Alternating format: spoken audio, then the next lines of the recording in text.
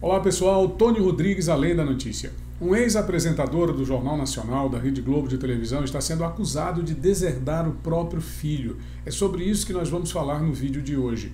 Eu peço a você que compartilhe com seus amigos, familiares e admiradores e nas suas redes sociais, principalmente no Instagram e no Facebook, ok? Vamos ao vídeo. Roger Moreira, ele é filho adotivo do ex-apresentador, do ex-âncora do Jornal Nacional da Rede Globo, Cid Moreira, está acusando o próprio pai adotivo de tê-lo deserdado. A situação é bem polêmica e ganha espaço é, na imprensa especializada, principalmente nas revistas de circulação nacional, por conta exatamente da notoriedade do próprio Cid Moreira, que foi a pessoa que iniciou a apresentação praticamente, né, juntamente com o Heron Domingues, ainda nos anos 60, em 1965, na Rede Globo de televisão, do programa Jornal Nacional, que surgiu em 1968 e ele tendo sido um dos primeiros apresentadores. Nos anos 70 e 80, foi juntamente com o Sérgio Chapelin o rosto do noticiário global, eh, noticiando grande fa grandes fatos da atualidade política brasileira, dos principais acontecimentos que passaram pela tela da Rede Globo de televisão. É, esse fato que nós estamos trazendo aqui no canal envolve o filho Roger Moreira, que, que foi adotado já adulto pelo Cid Moreira e que ele revelou no programa Balanço Geral da Record TV, alegando que foi deserdado pelo veterano apresentador que, que nos anos 90, já aposentado da Rede Globo de televisão, criou um projeto para gravar CDs com mensagens bíblicas. Todos devem se lembrar muito bem é, desse período, dessa fase da vida do Cid Moreira. Mas nesse programa, o Roger Moreira, que é cabeleireiro, né, ele mostrou um documento que foi enviado pelo Cid Moreira para avisá-lo de que ele não fazia mais parte do seu testamento. E como foi que isso começou? Né? O que foi que provocou esta situação? Na mensagem, o, o apresentador recordou que Roger ameaçou processá-lo na Justiça do Trabalho por ter atuado é, durante o período em que ele trabalhou como locutor nesses projetos de, de CDs bíblicos, né, de CDs com mensagens bíblicas. É, então ele, ele, Cid Moreira, é, ficou indignado com o próprio filho por conta dessa ameaça. Filho, é, independente de ser adotivo ou não, mas é filho já o tinha reconhecido como tal. E mandou para ele a seguinte mensagem, estou separando aqui a mensagem onde ele diz o seguinte: Você continua sendo meu filho adotivo porque não consegui reverter a adoção. Eu fiz um documento e deserdei você. Escrevi de próprio punho e assinei. Juntei pareceres de profissionais de saúde para provar que não estou senil. Foi um engano te adotar. Fico feliz em saber que você está sendo capaz de se manter, escreveu Cid num trecho do texto. Isso foi levado ao programa Balanço Geral da TV Record, provocou uma repercussão muito grande no, no meio artístico, entre jornalistas, é, sobremaneira entre os jornalistas globais, que são pessoas que admiram muito o trabalho realizado pelo Cid Moreira ao longo da sua carreira, e a Fátima Sampaio, que é a mulher do Cid Moreira, rebateu Roger Moreira. É, ela falou num vídeo com mais de 13 minutos publicado no Instagram é, dizendo que ele foi adotado não como um bebê, foi adotado já adulto. E não foi, é, portanto, uma situação de abandono, porque quando o Cid o adotou, ele já era adulto. E quando o deserda, ele também é adulto e tem plenas condições de se manter.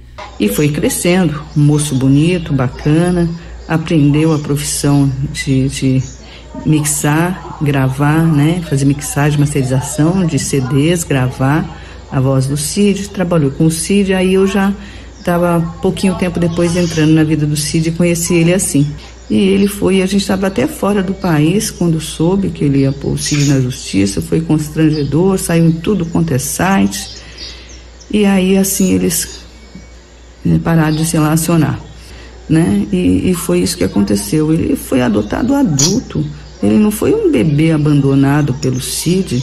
Ele tinha pai e mãe, ele deixou o pai e mãe para ser adotado pelo Cid, pela tia, né? Já adulto, no mesmo ano em que eu casei com ele, com o Cid. O que ela não podia admitir, como de resto todas as pessoas que admiram o jornalista, segundo palavras dela, é a ameaça de um filho é, processar o próprio pai na Justiça do Trabalho alegando direitos porque participou, porque ajudou, contribuiu na gravação dos CDs é, com mensagens bíblicas.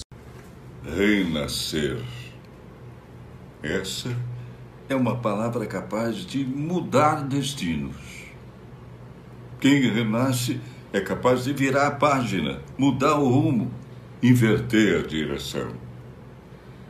Quem renasce abre os olhos para o horizonte, os braços para acolher o outro e o coração para o amor. Quem renasce transborda luz, otimismo e positividade. Renascer é deixar o passado para trás, aceitar o presente e acreditar na bonança do futuro. Renascer é ter a incrível oportunidade de transformar o sentido da vida. O fato é que o processo segue na justiça, né? na justiça do trabalho, independente do CID ter ou não deserdado esse rapaz, o Roger Moreira. É, ela colocou o seguinte: ele não pode falar sobre a situação do filho dele, o Cid Moreira, porque o filho o colocou na justiça para receber uma indenização trabalhista. Então, por questões de sigilo, segredo de justiça, ele não pode comentar o caso e assim a própria Fátima eh, Sampaio, que é a mulher do apresentador, decidiu fazer essa exposição, fazer esse esclarecimento de que, na verdade, não houve nenhum abandono material, nenhum abandono intelectual, tanto a adoção quanto o deserdamento aconteceram com o Roger adulto.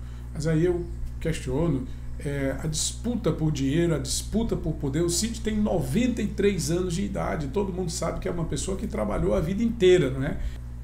Eu não acredito absolutamente que uma pessoa com sua história, com sua trajetória, com o respeito que ele tem da sociedade brasileira, tenha sido capaz de iniciar toda essa polêmica. Mas a gente deseja, sem nenhuma dúvida, também como admirador. E é por causa dessa admiração e pelo fato dele ser jornalista, pelo fato dele ter trabalhado ao longo de tanto tempo é, como jornalista no Jornal Nacional, como locutor oficial da própria Rede Globo, quem não lembra das suas matérias, né? quem não lembra do seu sonoro boa noite ao longo de tantos e quantos anos na vida de cada um dos brasileiros que viveu dos anos 60 até o final dos anos 90, quando ele apresentou o Jornal Nacional. Então, o que se espera é que tudo seja resolvido da melhor forma possível e que pai e filho possam se irmanar e se abraçar de novo no mais breve espaço de tempo possível. Bom, se você gostou desse vídeo, deixa aí o seu gostei, se inscreve no nosso canal e ative as notificações do sino. Tony Rodrigues, além da notícia.